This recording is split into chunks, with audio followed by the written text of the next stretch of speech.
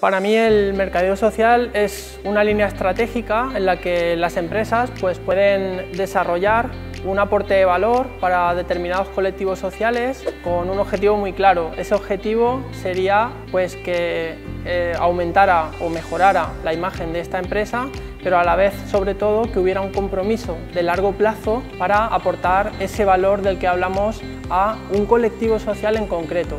Para seguir una metodología de aplicación del mercadeo social, lo primero plantear un objetivo, después desarrollar una estrategia que haga efectivo ese objetivo, posteriormente desarrollar un plan de acciones para ir ejecutando esas estrategias y finalmente medir.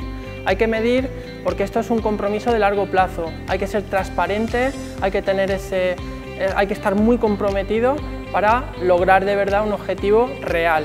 Es muy importante al inicio pues, desarrollar un trabajo para detectar un insight. Cuando hablamos de insight hablamos de qué motivos puede llevar a una marca a elegir una determinada causa social u otra. Posteriormente planteamos cuál va a ser la propuesta de valor para aportar valor a la sociedad y finalmente hay que comunicar el beneficio, ese beneficio real en datos que esta marca, gracias al mercadeo social, pues ha logrado aportar a la sociedad.